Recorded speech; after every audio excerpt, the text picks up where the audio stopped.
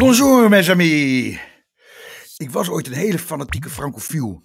Type Duvin, Paturin, Louis de Funès, Emmanuel 1 en 2, alpinopet en stokbrood op de schouder.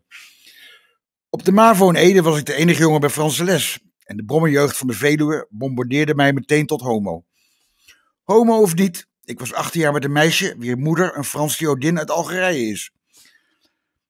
De volle neef van mijn ex is de zanger Patrick Bruel, die eigenlijk Benguigui van achter heet. Patrick weigerde op te treden in de steden waar het Front National de meerderheid had gekregen, zoals in Toulon. De oude Le Pen noemde hem altijd smalend die Juif Benguigui.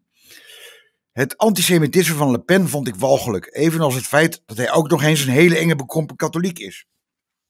Ik genoot dan ook toen de ex-vrouw van Le Pen, Pierrette, de moeder van Marina, in haar blote bips in de Playboy verscheen. Met Marina Le Pen heb ik veel minder moeite dan met haar oude heer.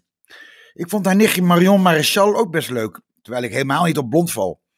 Dat nichtje werd de rechterhand van Erik Zemmour, tot grote woede van haar tante. Ik heb Zemmour zien optreden in de Bourgogne en vond het mooi om te zien hoe hij het opnam voor de boeren, de vissers, de jagers en de arbeiders.